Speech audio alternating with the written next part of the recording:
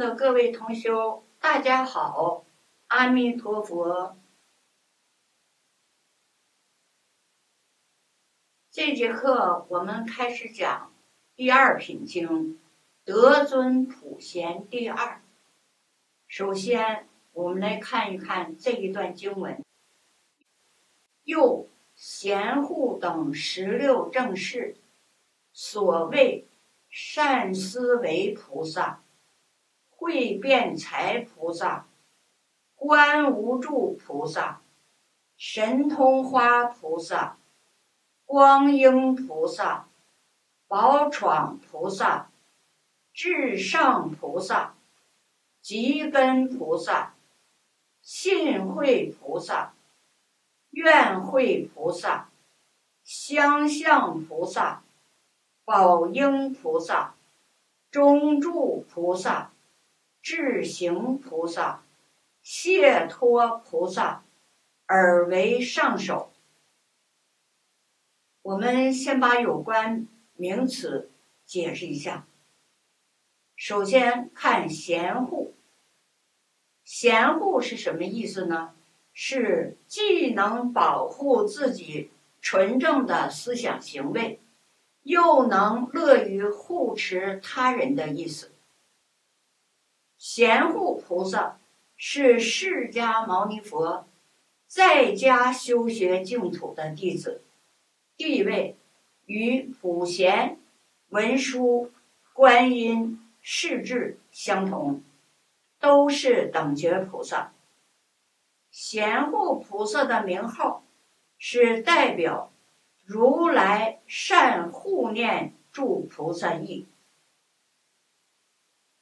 下面再看等十六，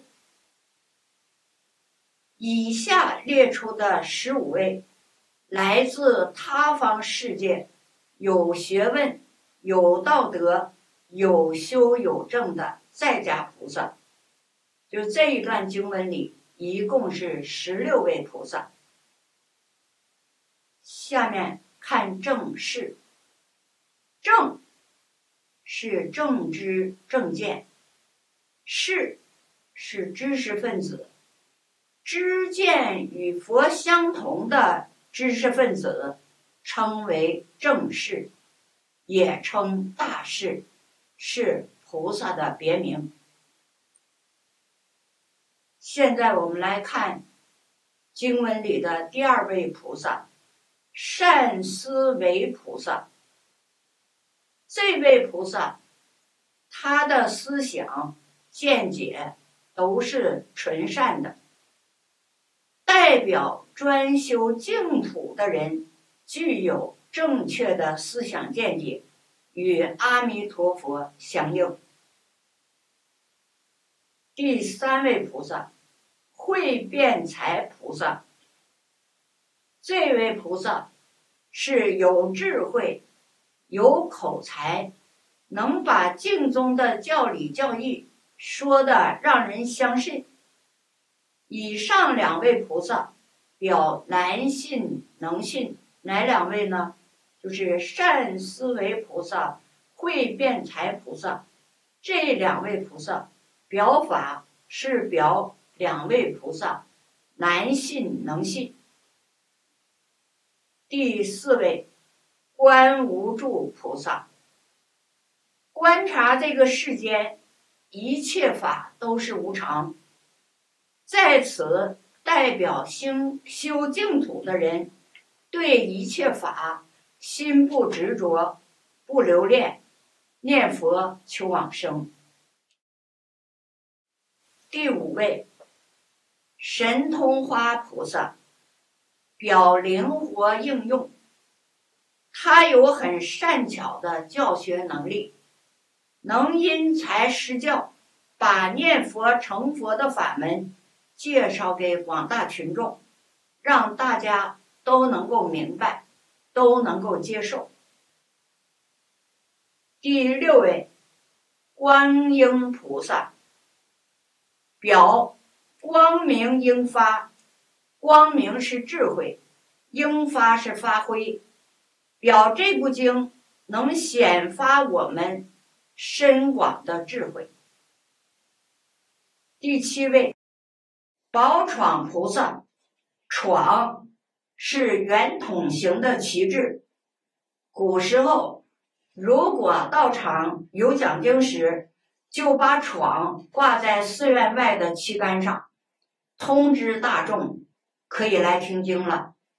所以闯。表宣扬佛法，宝闯表宣扬最殊胜的佛法，以此在这里表宣扬本经的法，这个缘是无比殊胜的。第八位，至上菩萨，智是智慧，上是最上第一。在此代表修学本经，就能得到无上的智慧。第九位，寂根菩萨，寂是寂静，根指眼、耳、鼻、舌、身、意六根，六根寂静是修行的根本。在这里代表依照这部经修学。就能得身心清净。第十位，信会菩萨，表能深信本经。第十一位，愿会菩萨，表肯发愿学习求生净土，能深信发愿，就是有真实智慧的人。十二位相向菩萨是比喻念佛的能量很大，能帮助我们超越十法界。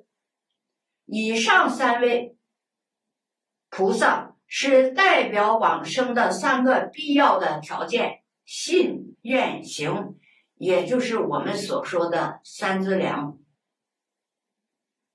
第十三位宝应菩萨，宝。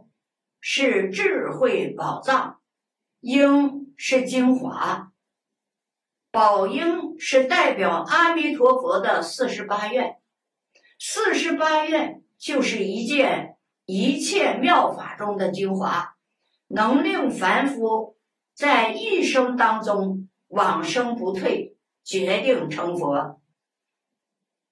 第十四位中住菩萨，中。表示中道，住表示安住，把心安住在这部经上，安住在这一句佛号上，就能得到中道的第一真理。第十五位智行菩萨，智行是指控制我们的思想行为，念佛就是智行。在这里代表持戒念佛。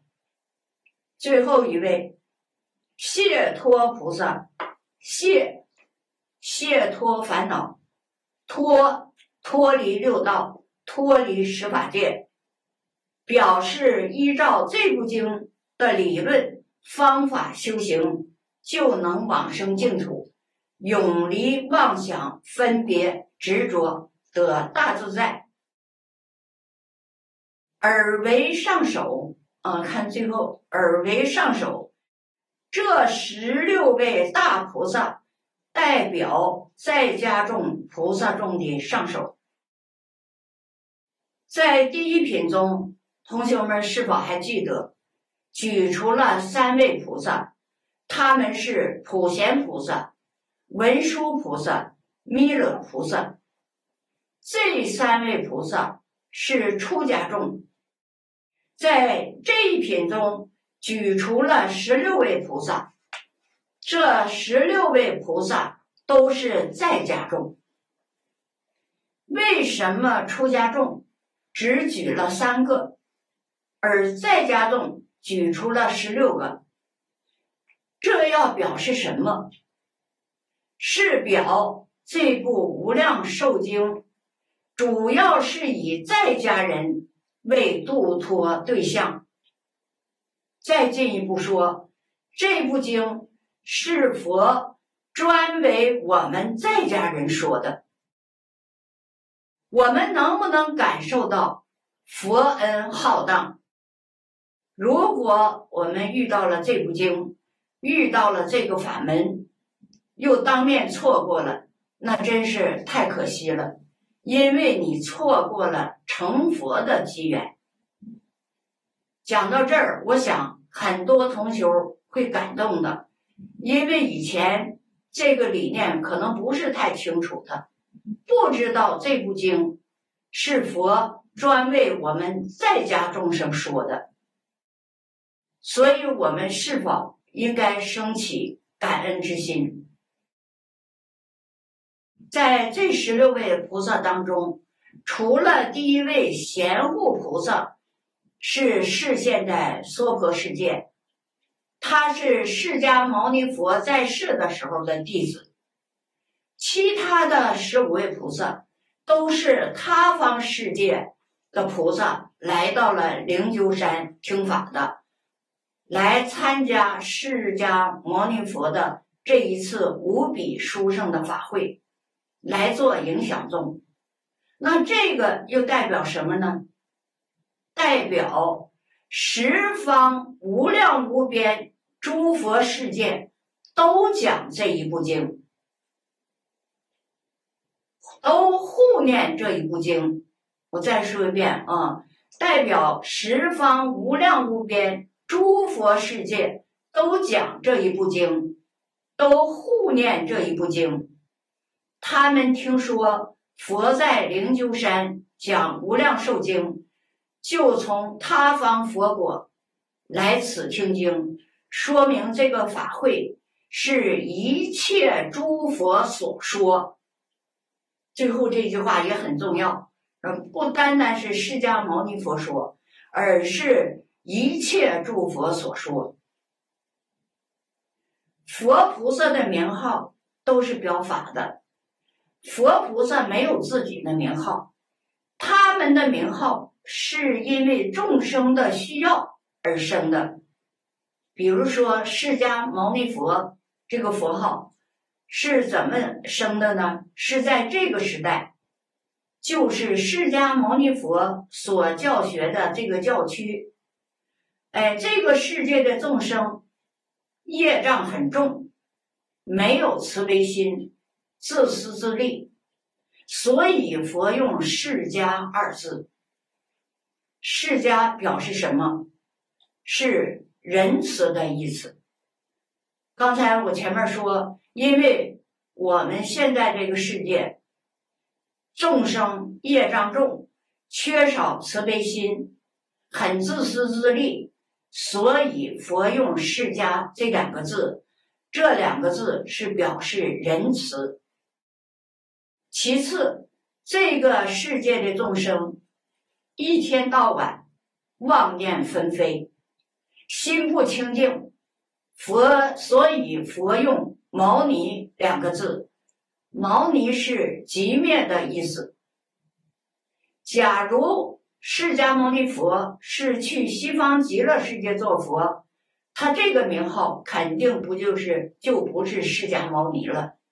啊，因为西方极乐世界人人大慈大悲、清净极念，所以说佛号啊，佛的名号都是表法的。在这一品经里列举出了十六位在家菩萨的名号，当然也都是用来表法的。我们一个一个来看，比如说贤护菩萨。它是表什么法呢？表如来善护念诸菩萨。这个护念的意义很深，诸佛如来必定要护念真正念佛、发心求道的学生。无论你是在家还是出家，只要你发这个道心，真正依教奉行，诸佛如来没有不护念的。这可以说是第一层意思吧。第二层意思就是教导我们：如果你遇到了真正发道心的同修，我们要尽心尽力的去护持。给他们提供方便的修学条件。如果我们不能护持真正发道心的同修，诸佛菩萨怎么能护念我们呢？道理是一样的。所以，我们要想得到一切诸佛如来的护持，我们也要护持。真正的学佛人，真正断恶修善的人，这是我们义不容辞的责任。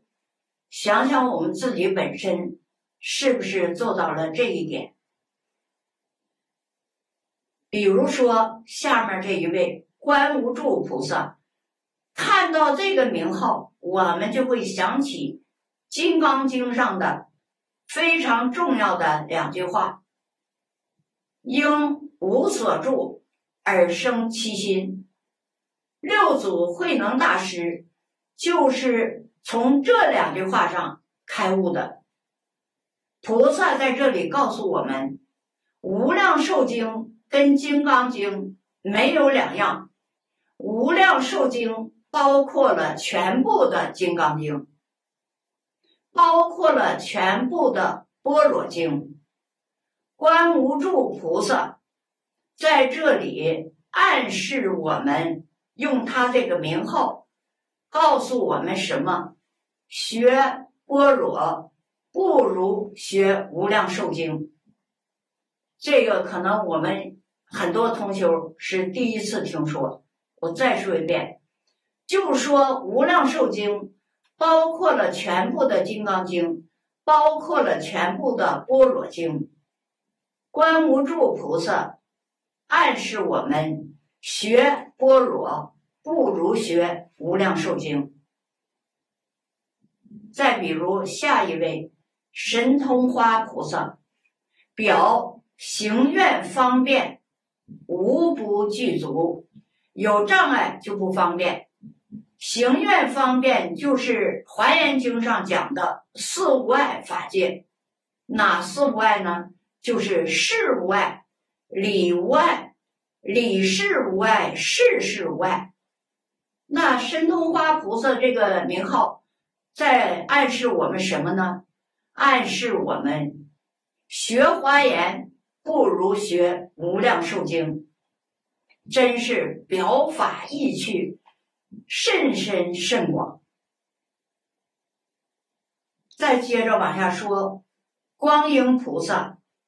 表无量无边深广的智慧，都是由一句阿弥陀佛显发出来的，显示出本经之德用无边。再比如宝闯菩萨，表智慧殊胜，表弘法利生，代表弘法之法源殊胜。下一位是至上菩萨。无上的妙智在本经之中，代表本经的内容是无上的智慧。如果你想求智慧，不必念六百卷大般若经，显示出本经之殊胜，无有一法不具足。再比如寂根菩萨表无量寿经。是六根清净的修行方法，还有信会菩萨、愿会菩萨、相向菩萨，这三尊菩萨在一起，表净土三资粮，也就是三个重要的修学条件：要信、要愿、要行。再比如宝应菩萨，表愿海万德庄严，表性所含无尽的宝藏、无尽的智慧。再比如中住菩萨，表阿弥陀佛是中道第一义谛，玄妙之极，方便之极，平常之极。再比如智行菩萨，表持戒念佛，这是修行的下手之处。再具体点说，就是老法师告诉我们的。那五个修学科目：三福、六和、三学、六度、十大愿望。这句阿弥陀佛佛号，把这五个科目通通都包括进去了。最后一位谢托菩萨，他排在最后，代表国报、果报、果报是得大自在。以上十六位在家菩萨的表法，给了我们一个坚定的信念，就是在家修行一样能够成佛。特别是末法时期，出家修行反而比在家修行难，出家真修行的人反而少了。为什么呢？为什么说出家修行的人反而少了呢？不是说出家人少了，而是说出家修行的人少了。为什么？大家都有目共睹，忙着盖大庙，忙着应酬，天天搞法会，度死人，整天忙这些，哪有什么功夫修行？所以说，现在很多出家人的修行反而不如在家人得力。在家人一天可以念几万声佛号，出家人比不上在家人。就从这一点来说，也是这样。末法时期，世事颠倒。佛陀在世的时候，修行成就的排序是。这个很多人都清楚，是吧？那个时候修行成就的排序是：出家男众第一，出家女众第二，在家男众第三，在家女众第四。那现在是怎么样一种情况下呢？正好颠倒了，现在是在家女众第一。在家男众第二，出家女众第三，出家男众第四。这个排序应该这样说，真是佛法的一种悲哀。现在大家都富裕起来了，有了一定的经济基础，开始忙着建道场、盖大庙。庙宇盖的越来越富丽堂皇，数量多，规模大，却把我们本师释迦牟尼佛教化众生的本怀忘了。就是我们是干什么的？把世尊的本怀忘掉了。出家人不能深入经藏，不能弘法利生，佛法就衰微了。大家说是不是这么回事儿？我们眼前的事实，每个人都看得清清楚楚。释迦牟尼佛是我们的本师，我们的本师已经给我们做出了榜样。四十九年讲经说法，教化众生，帮助众生破迷开悟，离苦得乐，帮助众生成佛。这是释迦牟尼佛的本怀，除了讲经教学之外，我们的世尊没有做过别的事情。可是我们现在所做的，正好是与我们本师本怀是背道而驰的。有人说，是不是我们现代人的头脑不如古人？是不是我们现代人的福报不如古人大？老法师告诉我们，绝对不是。是什么原因呢？老法师这样说的：我们现代人的头脑比古代人聪明，福报比古人大。那为什么反而道心退却了呢？很重要的一个原因是，我们没有往释迦牟尼佛的正道上走，我们把路走斜了。嗯，因为我们走上了邪路，所以才导致了目前的现状。末法时期就是这种现状。那有同学问。什么是释迦牟尼佛的正路？一句话，讲经教学，教化众生，这是释迦牟尼佛的正路。那什么是邪路呢？除了讲经教学，通通是邪路。注意这个词“通通”，离开了讲经教学，通通是邪路。这个“通通”代表所有。那你想，唯一的正路讲经教学，除了这条路，其他都是邪路。因为走上了邪路，所以就失去了道心，造作了罪业。这些应该引起我们足够的警觉了。这一段经文呢，就讲到这里，我们把它。总结概括一下这一段经文要表达的是什么意思？这一段的贤护菩萨是与释迦牟尼佛同时代的此方世界的菩萨，其他十五位菩萨则是他方世界来此参加法会的菩萨。由前面十四位菩萨的名号中含义中，让我们认识这部经典的殊胜。第十五位智行菩萨教我们修行下手的方法，持名念佛。最后一位解脱菩萨代表修行的果报。这十六位菩萨。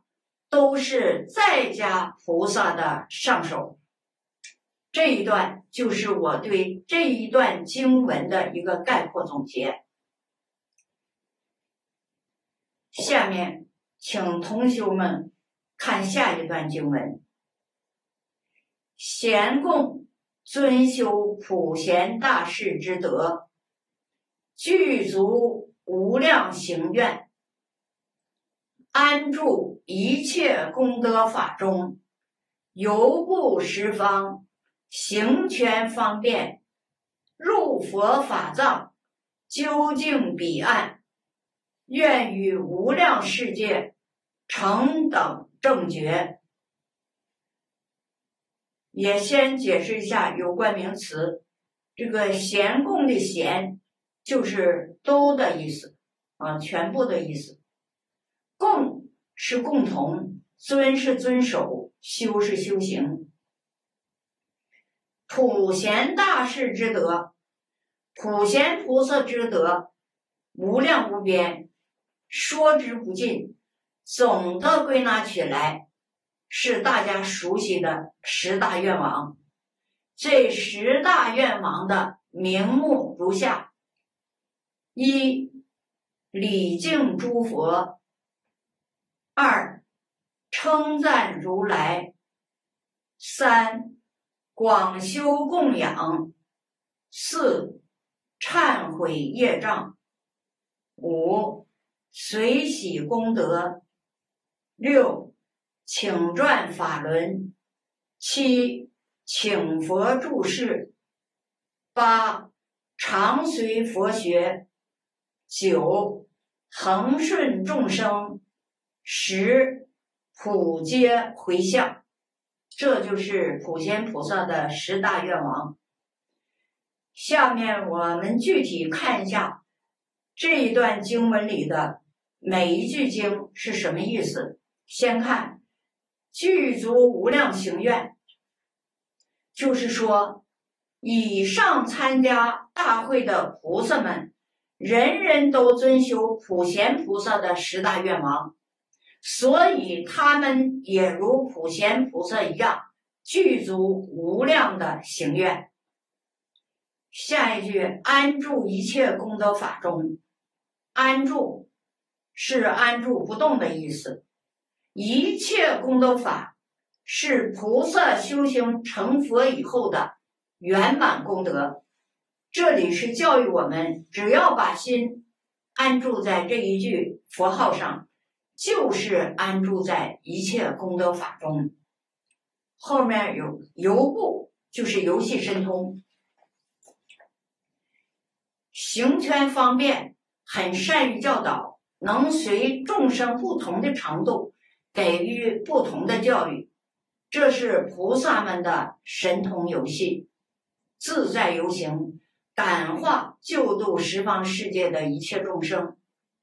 随顺众生的需要来协助教化他们，入佛法藏，对一切众生真心自性里面含藏的一切佛法都通达明了。佛是觉悟明了，法是释出世间一切法，藏是含藏的意思。究竟彼岸就是达到究竟圆满的成佛果位。只是上面这段经文，嗯，比较难理解的一些词语，嗯，先把它简单的给大家解释一下。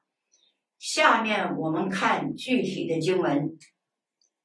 第一句：贤共尊修普贤大士之德。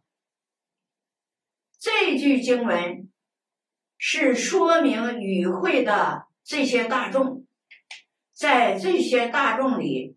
有比丘众，有二乘众，有菩萨众，有出家众，有在家众。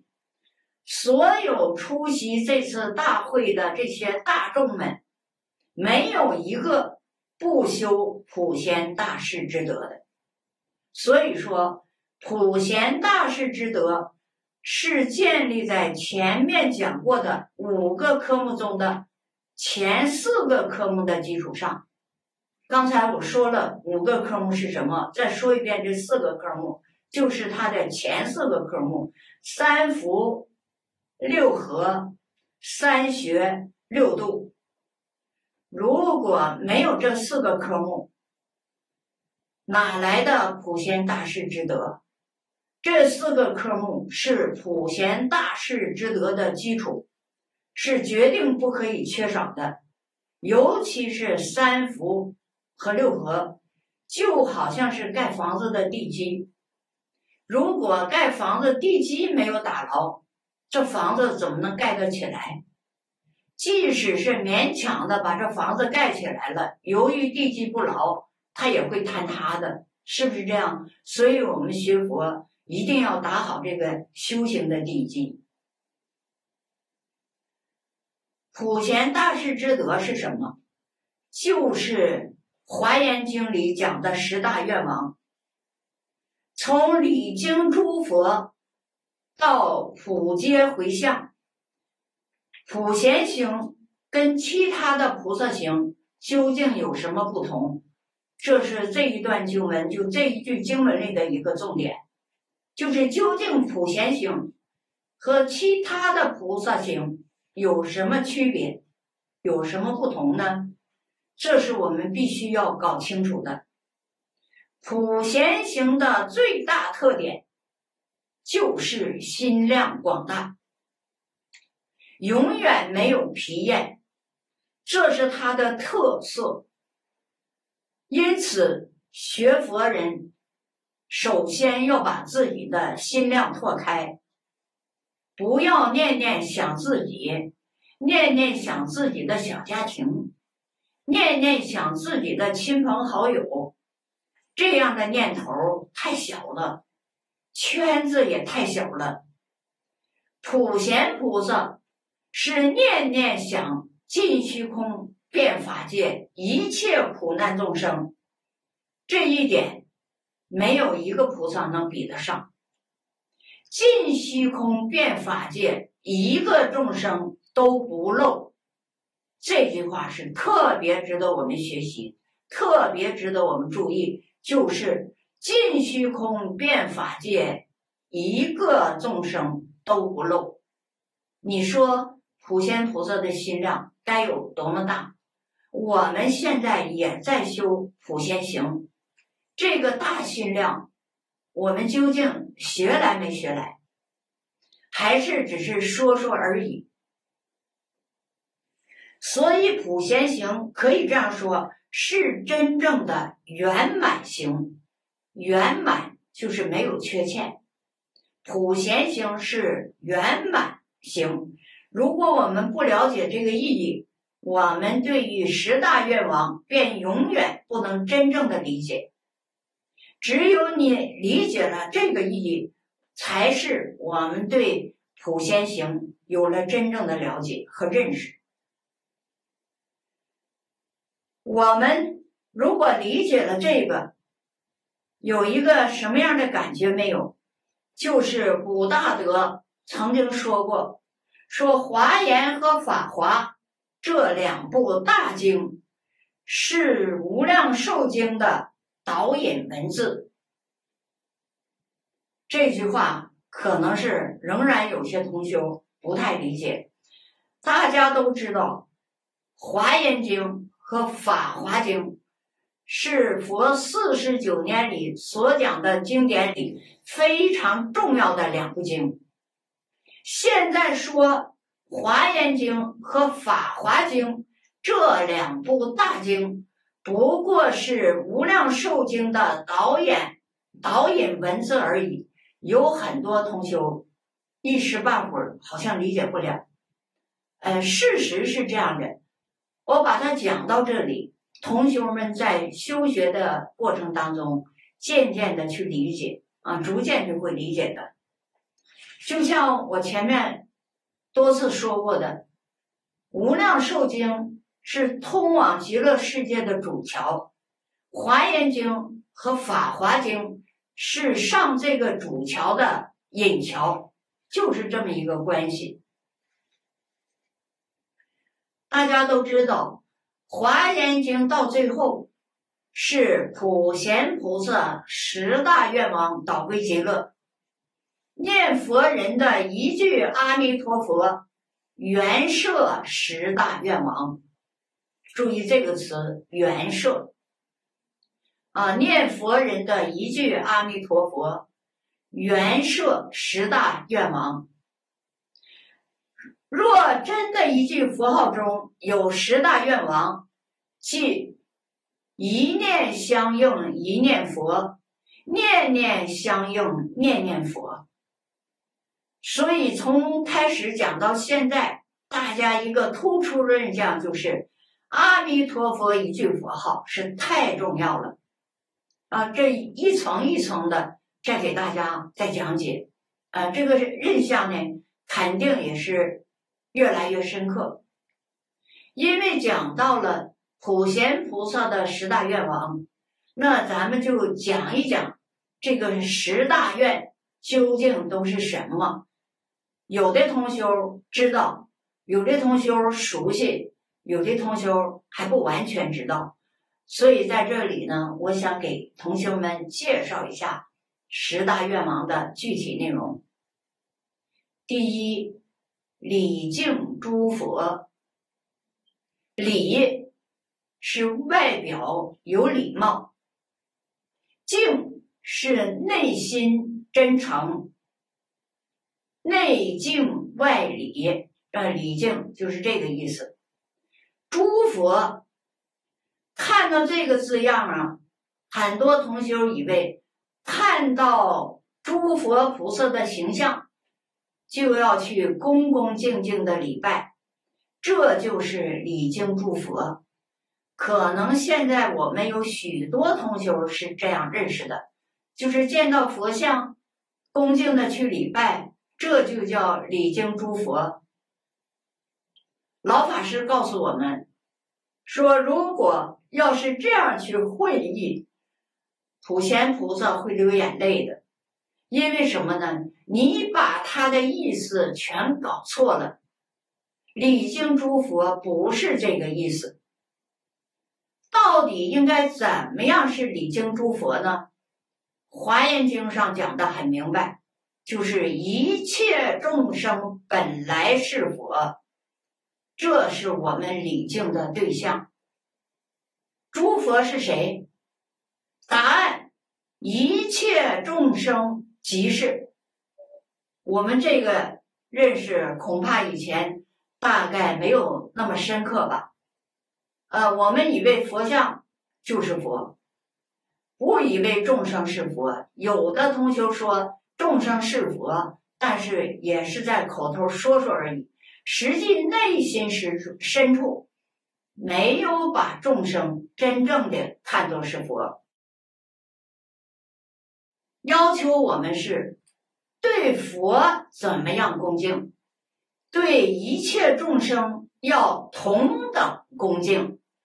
哎，这个修饰语“同等”两个字，就是说，你对佛怎么样恭敬，你对一切众生就要同等恭敬，这叫礼敬诸佛。这回听明白了以后，我们就知道，我们不能小瞧我们身边的任何一个众生。啊，过去我一再说，包括蟑螂、蚂蚁、蚊虫。他们都是未来诸佛，我们礼敬他们，就要像礼敬我们所说的礼敬佛像一样去礼敬，这就对了，这就叫同等礼敬。在这里，我给大家举一个小例子啊，最近我有多少有一点感受，就是我现在所在这个道场啊，哎，有几个小动物。嗯，有六条狗，有一只小猫咪。这个就就像我们这个小道场的一个一成员，我们就是这样对待他们的。我们对待这些小动物，没有把它们看作是动物，而是把它们看作是我们当中的一员。他们都是未来佛，我们对他们是很爱护、很关心的。啊，没有一个人去伤害他们。你们从这些小动物的名字里就可以知道了。这六条小狗呢，它们的名字是一个叫大雾啊，不知道大彻大悟吗？我们这个小狗狗有一个叫大悟，还有一个叫一真，不一真法界吗？一真，嗯。还有一个叫觉觉，不要觉悟吗？破迷开悟。有一只小狗叫觉觉，还有一只小狗叫西西，还有一只叫龟龟，两个合起来就是西龟。嗯，要回归西方极乐世界嘛，所以西西龟龟。最后一条就是我家里原来的那个小溜溜蜜。这就是六条小狗，它们也和睦相处，互相也不打仗，嗯，挺好的。还有一只白色的小猫咪，名字叫自在。这个自在就是我们修行的那个我们要的果报，不是希望幸福自在吗？哎，我们那小猫咪就叫自在。这个六条小狗和这一只小猫咪。也和睦相处，哎呀，就这个景象真是挺感人的。所以我在这里举这个例子呢，就是告诉大家，一切众生都是未来佛，我们都要礼敬，不可以轻视，不可以小瞧，呃，更不可以看不起他们。老法师啊，曾经给我们举了这样一个例子，这个例子是什么呢？说我们今天给人写信，最后不是要落款吗？落款要落名字。我们学佛的同修往往都习惯是署完名字以后，后面写何时。老法师说写何时不肯写顶礼，这一点你就没有修普贤行。看到这里的时候吧，我真的大吃一惊，因为什么呢？老法师要不说呀，我真不知道这个事儿。我就曾经这样写过，比如说我给某某法师写信，我最后署名就是刘素云何时，我真的这样写过。虽然次数不是太多，但是毕竟是写过。如果没听老法师这么说，我确实是不知道。老法师给给个答案，就是理由，为什么说你写何时不写丁礼，你就没有修普贤行？老法师是这样说的：你落款核实，就说明你认为你给写信的对方他不如你，你认为你比他强，那你就想啊，我比你强，我凭啥要给你顶礼？写个核实就不错了，老法师就这么给我们剖析的。我听了以后，我就想，哎呀，真得多学多看，否则有很多东西因为不懂就犯错了。那老法师说，你不给他顶礼，你怎么知道他不如你？因为什么呢？因为他和释迦牟尼佛没有两样。他和阿弥陀佛也没有两样。你见着阿弥陀佛，见着释迦牟尼佛，你顶不顶礼？你肯定是顶礼，你不会只喝食的。为什么你给他写信，你就不顶礼呢？是是说明你自己的心里有功高我慢，你觉得你比他强，所以我给你核实就可以了。看到这儿呀，我就想，真是学一点。咱们就要落实一点，从今天开始，咱们就要把这种分别执着给它去掉，要把小心量变成大心量。因为什么呢？我们写个顶礼不问什么事，但是它表示你心里的念头是不是正确的？是不是这样？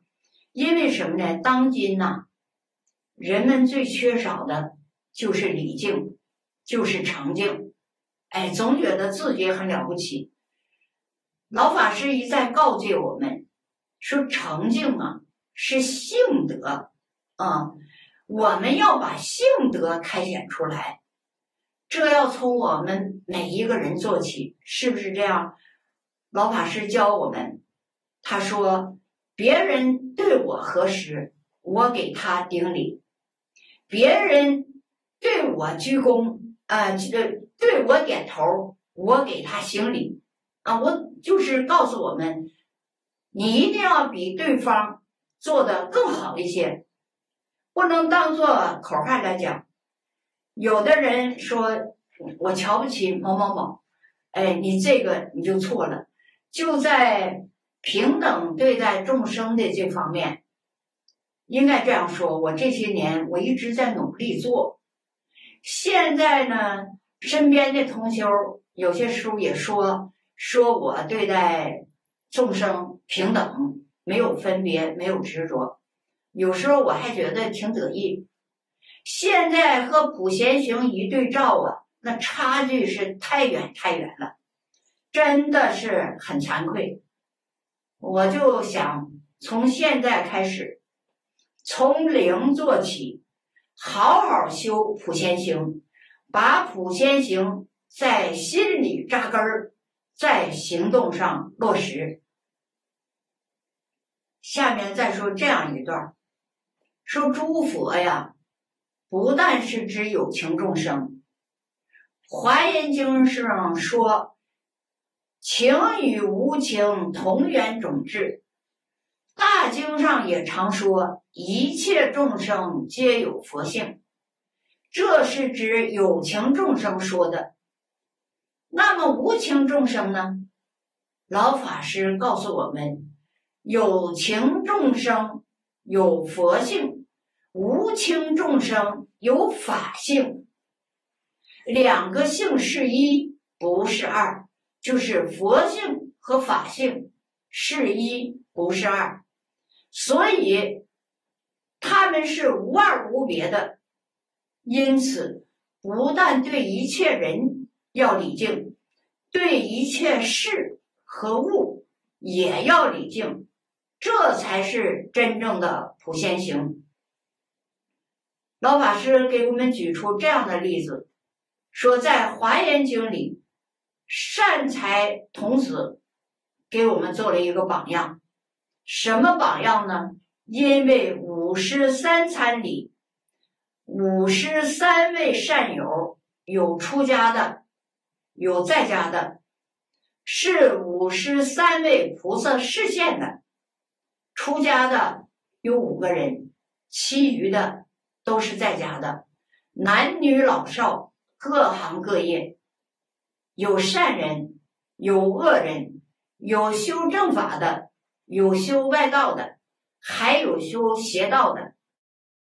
善财童子对这五十三个人是平等的恭敬，无论是善人还是恶人，他们的佛性是平等的，佛性没有善恶。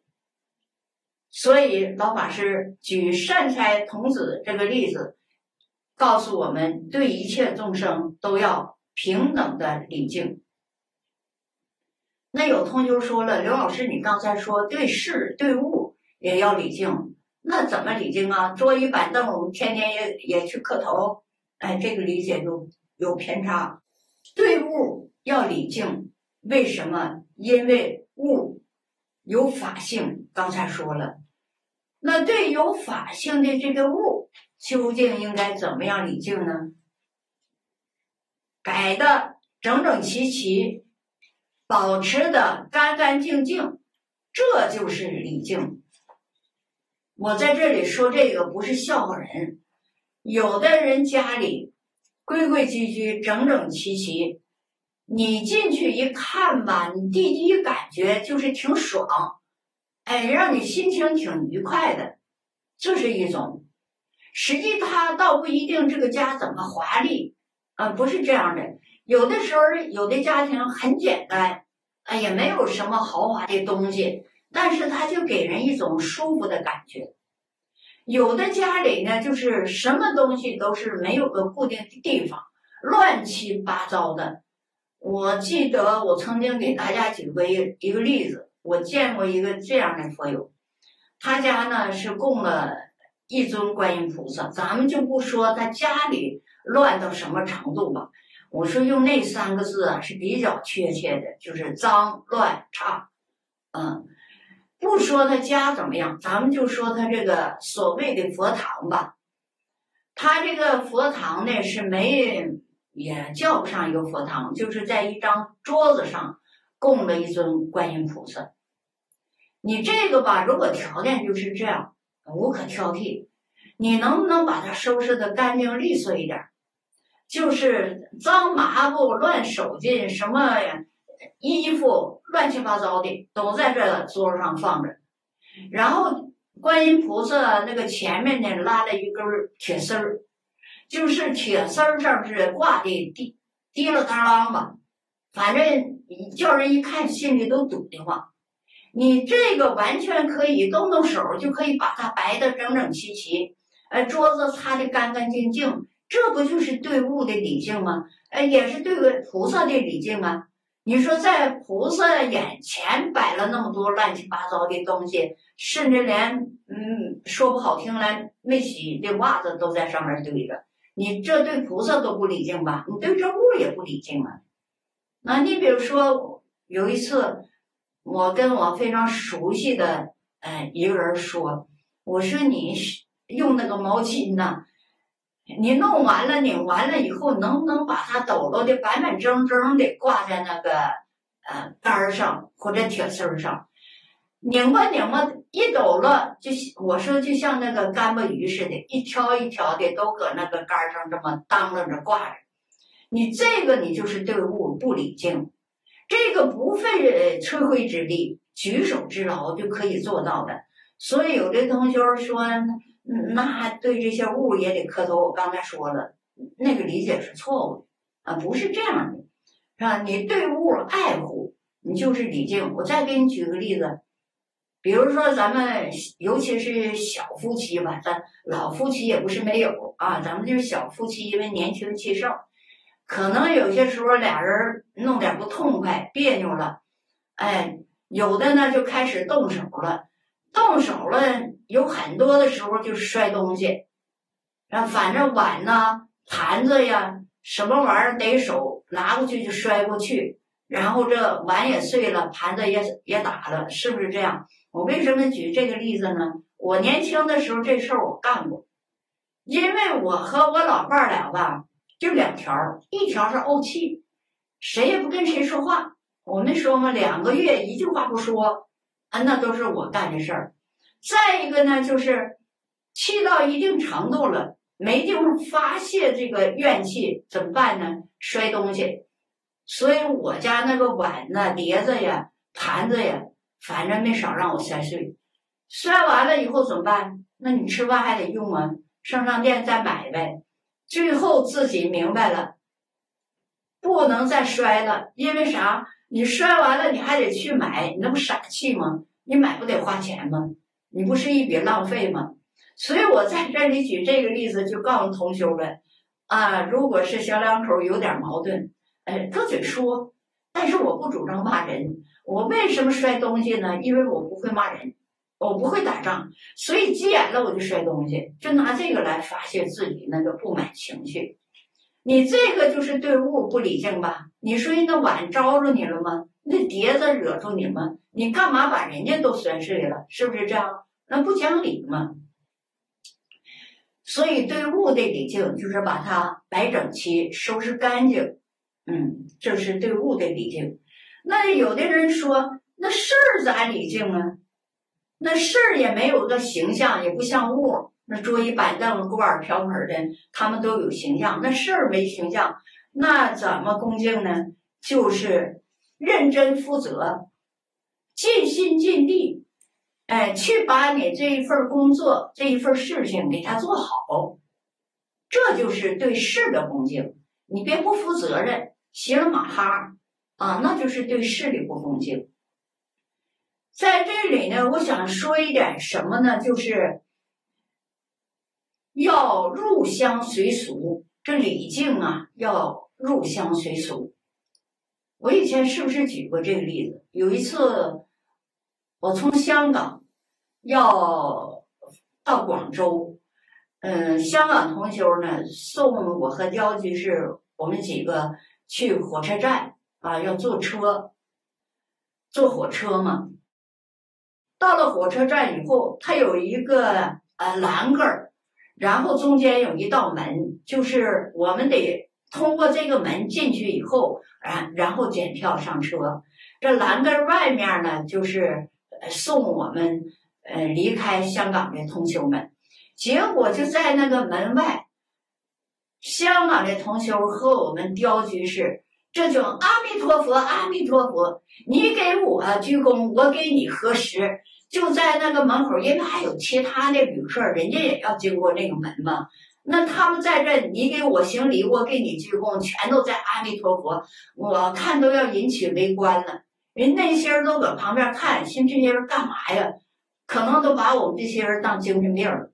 后来我就赶快拽了刁居士一把，我说行了行了，赶快进去吧，叫我拽着他胳膊给他提了进去了。然后香港的同学也笑了。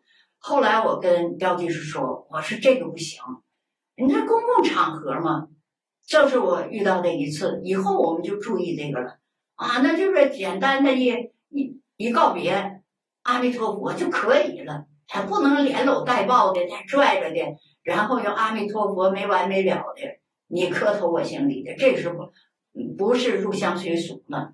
你影响人公共场所秩序了。”是不是？还有一次，我记得是我们出国那次，在机场候机。这个时候呢，因为老法师我们都在那个椅子上坐着，这个时候来了一些个人，我估计也是学佛的吧，可能是见着老法师以后，一大片跪下来给老法师顶礼。老法师紧着说一礼一礼，实际呢已经跪下了，已经开始礼拜了。老法师也没法说了，师傅就说一礼一礼。结果这些人是一礼不行，必须得三礼。后来老法师跟我们说，说像这个呢，就是不太合适，而因为机场嘛，候机大厅这是公共场所，不可以这样的。啊，这个我们就记住了。嗯，就是你在什么场合应该用什么的礼节，哎，你得明白，你不能越杠，是不是？得入乡随俗，你你这个就对了。如果那个做过分了，你说我礼敬吗？那个就过分了，啊，也谈不上礼敬了，是不是？就这个，所以我在这里跟大家说一下，这是第一愿，第二。称赞如来，分别一下啊。第一个是礼敬诸佛，这第二是称赞如来。为什么把诸佛改为如来？它有它的深刻的意义。诸佛是从形象说的，如来是从性德上说的。比如说。在《金刚经》里，有的时候说诸佛，有的时候说如来，有很多人不理解，说怎么回事呢？一会儿这么说，一会儿那么说。这回我讲到这儿，大家就明白了，就是凡是称诸佛，都是从相上说的；凡是称如来，都是从性上说的。由此可知，在形象上，我们要平等的恭敬，决定没有分别执着；但是在性德的开显上，确实有迷雾之分。因此，称赞与礼敬是有差别的。这位听懂了吧？一个是从相上说的。一个是从性上说的，两者是有差别的。在善财童子五十三参里，我们可以看到，与性德相应的普贤菩萨就称赞；与性德不相应的普贤菩萨便礼敬而不赞叹。比如说，圣热。婆罗门，他是代表愚痴，善财对他礼敬而不赞叹；甘露火王嗔恚心大，报复心重，善财对他礼敬而无赞叹；伐粗密多是一个妓女，善财对他有礼敬，没有赞叹。这就是五十三贪里面其中的三位，唯独这三个人没有赞叹，其他的都赞叹，说明了什么？为什么赞叹用如来，而不是用诸佛？老法师说，告诉我们说善要与真性相应。啊，就是善要与你的本性、你的真性相应，才值得赞叹。如果与心性不相应，与大乘佛法不相应，都不能赞叹。所以我们以后要注意，什么时候我们礼敬，什么时候赞叹，一定要把这个分寸把握好。老法师老人家慈悲。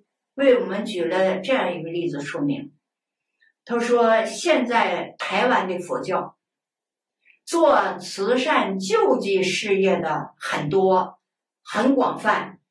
老法师说，我在讲经的过程当中，对这个从来没有赞叹过。当时我听到这儿，看到这儿吧，我又有疑惑了，为什么呢？那做慈善事业，那不是好事吗？为什么不赞叹呢？师傅给的解释是这样的：说虽然慈善事业是善法，我为什么不赞叹？因为它是世间的善法，不是大乘的佛法。在这儿啊，说那个善法是世间的善法，不是大乘的善法。说如果我们对世间的善法加以赞叹，换句话说，可能会让人误解，这就是佛法。嗯，老法师给的答案就是这样的：说如果是这样，也是误导众生，这就大错特错了。比如说，学校，小学也好，中学也好，大学也好，学校的事业是什么？是教学。如果教学有成绩，我们应该给予赞叹；如果学校偶尔的做那么一次社会救济的慈善事业，也值得我们赞叹。但是如果作为一所学校，把学业荒废了，老师们不教书了，学生们不念书了，天天去社会上做慈善事业，你想想，我们还要不要赞叹？因为把自己本分事业舍弃掉了，这个我们不能赞叹，赞叹。一定要与性德相应。佛法的本分是什么？是如来家业。如来家业是弘法利生、普度众生，协助一切众生破迷开悟。离开了这个，老法师说，这叫不务正业。这个理念，同学们能不能理解？能不能接受？就是我们什么时候该礼敬，什么时候该赞叹。老法师是举例子给我们说明的，我们是不是应该听得懂？比如说，以前的寺院和庵堂都是佛法的教育机构。我们在大经上读到，佛寺每天是二十讲经，二十修行。二十，就我们今天来说，就是八小时，啊，二十就是现在的八小时。你想想，佛寺八个小时讲经，八个小时修行，修行不外乎两大类：一是参禅，二是念佛。啊，这是修行。说念佛的人，每天是在念佛堂念佛八小时。在讲经堂听经八个小时，还有八个小时休息，这不三八二十四个小时吗？二十四个小时是这样分配的，所以那时候的修行人没有多少时间打妄念，所以佛教的道场是寺院，寺院是教育机构。我们看看目前的状况。寺院成了旅游观光的地方，是不是这样？所以他就失去了那个教育机构的本来面目了。老法师告诉我们说，寺院和庙宇不一样。庙宇是什么呢？是祭祀鬼神的地方。我们现在把寺和庙完全混为一谈了，寺也是庙，庙也是寺。现在很多的。称寺的不太多，呃，牌子是什么什么寺，但是大家一一说到大庙去，上某某大庙去，哎，都是这样说。很多地方把祭祀鬼神的庙也混同于寺了，这就是一个错误的做法。是跟鬼神打交道的地方，现在把寺和庙混为一谈，这也是佛教的另一个悲哀。佛寺是教育、教化众生的教育机构，我们必须认识清楚：如果舍弃了修学，舍弃了教学，这就是忘了本，所以不能赞叹。啊，在这里，什么时候赞叹，什么时候不赞叹？我觉得老法师给我们说的很清楚了。如果我们赞叹错了，会使一些人对佛教产生错误的看法，他们可能认为这就是佛教，实际那不是佛教。称赞是相当不容易的，比礼敬难修。为什么？因为贡高我慢，几乎每个人都有，不知不觉他就现行。这是无始劫以来俱生的烦恼习气，一定要把它断除。礼敬就是折服骄慢，学谦虚，学恭敬，无论在言语、在起心动念、在行为上。都要认真的修学，称赞一定要有智慧啊，一定要有智慧，有智慧才能辨别邪正，辨别是非，是正法是善法，我们要赞叹；如果有偏有邪，我们就绝对不能赞叹。今天的时间到了，嗯，这节课就讲到这里。明天接着往下讲，感恩大家，阿弥陀佛。